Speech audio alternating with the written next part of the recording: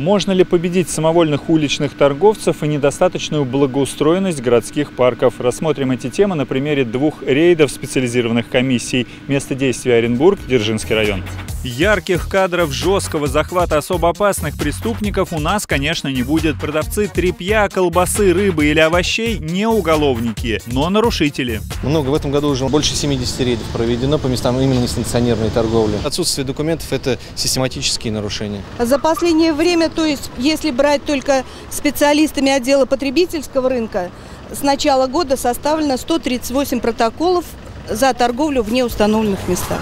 Чтобы накрыть всю сеть, надо было бы действовать несколькими группами, а так, пока комиссия оформляет одного нелегала, другие, что называется, оперативно сматывают удочки. Между тем и попавшийся на нарушение продавец не переживает. Мы только на той неделе проводили межведомственный рейд. Предупреждали вас, просили не торговать. То есть вы торгуете, посмотрите, с нарушением правил торговли, санитарного режима, да? Ваша медицинская книжка покажите, пожалуйста. Нету. Вы же за это несете персональную ответственность, Конечно. как продавец. Ваша форменная одежда, что вы продавец, где? Покажите, пожалуйста. В оправдание своих действий бесхитростная мысль. Это не ко мне вопрос. Ну как не к вам, вы же Ну, я торгуете. же не ворую, ну я же торгую, работаю. А мне детей чем кормить? Воровать пойти, вы думаете, что? ли? По мнению женщины, обман покупателя воровством назвать, видимо, нельзя. И обвешивание клиентов – это честная работа. Пачка соли, упаковка полностью, на контрольных весах она взвешена, масса э, соли нет, составляет килограмм. Проверяем контрольность весов. Пожалуйста, смотрите, отклонение 135 грамм на килограмм. Грубейшее нарушение правил торговли, которое выражается в обвесе и в обсчете покупателей. Закон, кстати, предполагает штраф за такие действия от 3000 на граждан до 50 тысяч рублей на юридическое лицо. Но, воспылав праведным гневом, за продавца вступается хозяйка товара. Чего это напали на бизнесменов? Мы не знаем, у нас мы не обвешиваем. Ну Не давай, знаю, нет, ну давайте посмотрим. Да что посмотреть? Я говорю, не обвешиваем. Ну вот, смотрите. Я покупаю весы на центральном рынке, все.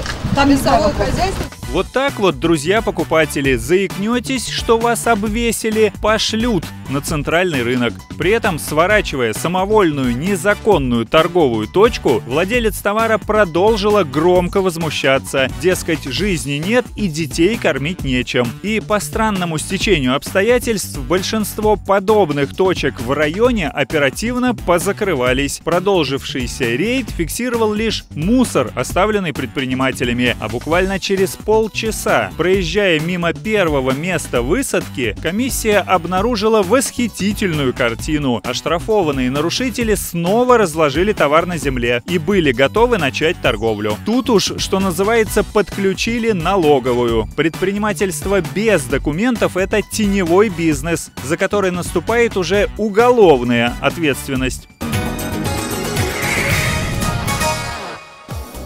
В ответ на жалобы специальная комиссия из представителей администрации города и депутатов отправилась гулять по парку имени 50-летия СССР. Жалобы самые разнообразные, от возмущения, что спиливают деревья, до недовольства очередями в городке аттракционов. Заметим, парк уже 4 года как отдан в концессию одному оренбургскому бизнесмену, и преобразования, которые здесь проходят, власть постоянно контролирует. Все работы согласованы были вырублена часть деревьев, но это также все в рамках соглашения, потому что эти территории изначально были запроектированы именно там, где это происходит.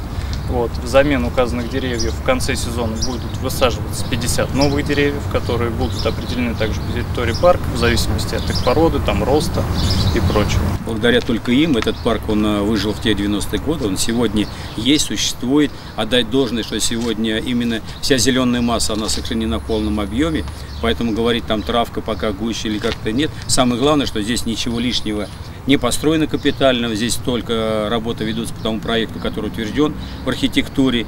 Сегодня проблема у нас в очереди аттракцион, это, я считаю, это прекрасная проблема, ее надо решать. Значит, у нас есть дети, которые с удовольствием сюда приходят и здесь отдыхают в этом парке. Проблему очередей решат с помощью электронной системы платежей. Ее планируют внедрить к осени, заодно увеличив количество аттракционов. Часть существующих уже ремонтируют и одновременно устанавливают новые. В парке строят большой веревочный городок. Есть планы и на следующий год. И на следующий год мы будем э, ставить профессиональный скейт-парк вот этот потому что это сейчас э, олимпийский вид спорта, и чтобы у нас тоже готовили спортсмены и выступали на самых высших уровнях. В рабочий полдень в парке немноголюдно, но отдыхающие все же есть. Неспешные с удовольствием они прогуливаются и посещают аттракционы. Говорят, для обитателей северного жилого массива это замечательное место. На уточках любит кататься у нас на пожарной команде. Вот сегодня опробовал у нас лодки, да?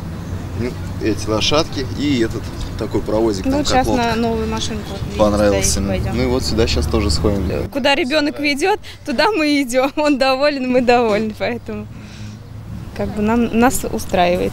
Проверкой остались довольны и депутаты, которые смотрели на парк не только с позиции властных полномочий, но и как простые жители, как родители. Но в целом картина э, достаточно приятная по парку. Постриженные кусты, опиловка деревьев идет, нигде не валяется, бычков даже не видно. Я доволен. Я тут давно не был. Последний раз проводили мы здесь рок-фестиваль. Это было лет, наверное, 10 назад. Здесь другая картинка была совсем. Мы видим и мероприятия, потому что мы их постоянно посещаем.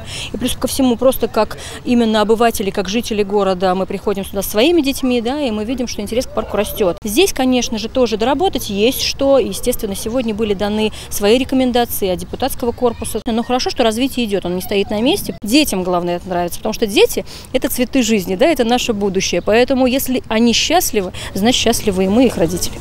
Заметим, что парк традиционно является одной из крупнейших площадок для культурно-массовых мероприятий городского и областного масштаба. Так, ко дню рождения Оренбурга организаторы готовят замечательный подарок – выступление группы «Мираж».